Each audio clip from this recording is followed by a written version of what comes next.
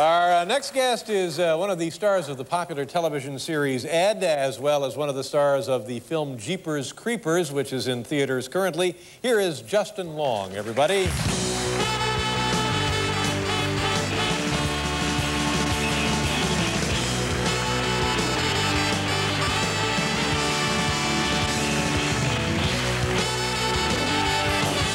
Thank you for being here. Oh, thank you. Thank you. for having me. Congratulations on your uh, you're beginning your second series, second season of the series, Ed. Oh, thank you. you, must sir. be pretty excited, proud. Very, very excited. Well, nice to see things are going so well for you. Things are things are going good. You were supposed to be here last week, and, and or it was a couple of weeks ago, and we Yeah. were talking to uh, Hillary Clinton was here, right? That's right. And we, we just ran out of time, and so you came back. I, I hope that didn't unsettle you. Are you No, all right? no. In fact, in fact, uh, I was kind of flattered to get by, get bumped by uh, Hillary Clinton. Well, it was a big, big was- night, really. Yeah, it wasn't. Yeah.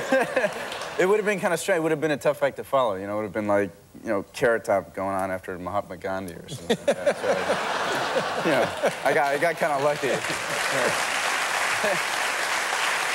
But uh, I've been, I've been, uh, yeah, I feel, I feel like the brown lemur, actually. I feel, Yeah. I feel like he was acting very anxious. Stay out of my lap. Yeah.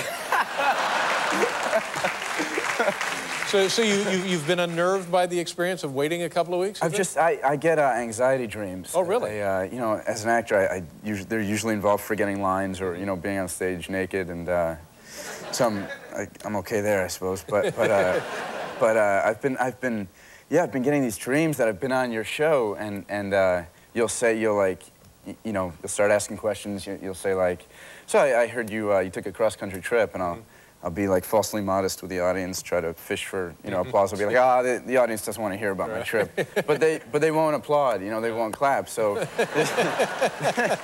really don't want it. yeah, to they don't want to hear it. Yeah, that's tough. So the whole thing goes on like that, just just silence. Now, So- did you, now, you mentioned in the dream, you're telling a story about a cross-country trip. Did you, did you actually have a story about a cross-country trip? I did, uh, I did, I. I they don't want to hear that. No. Um, I have many stories. I. I uh, Let's just take them one at a time, Yeah, right?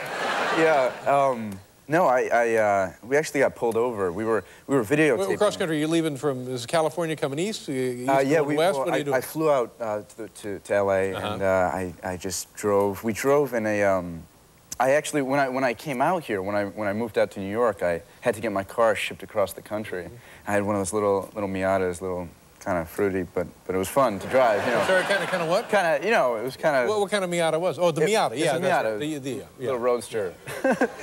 What'd I say? yeah, no, they're cute. You're right. I Yeah, mis- I yeah. Oh boy! Wow. Um, and and and I so I hired one of those you know shipping companies. They put them on the flatbed truck. Oh, yeah. And it's kind of exp- it was like a thousand dollars to get it shipped all the way out. But uh, when I moved back to Duet, I had to, I needed a car out here. So. Uh, so I, they said allow seven to ten days for delivery, and I waited about two weeks, and I started calling the company, and, and uh, I finally got somebody on the phone, and, and there was this kind of slow-speaking Southern fellow, and he, he was like, uh, "Mr. Mr. Long, are you sitting down?" and, and I, I said, oh, oh boy, why, why, what, what happened? He said, well, uh, it, it's a funny story. Well, it's not, it's not funny, but it's one of them things you're going to look back at and laugh. You know what I mean?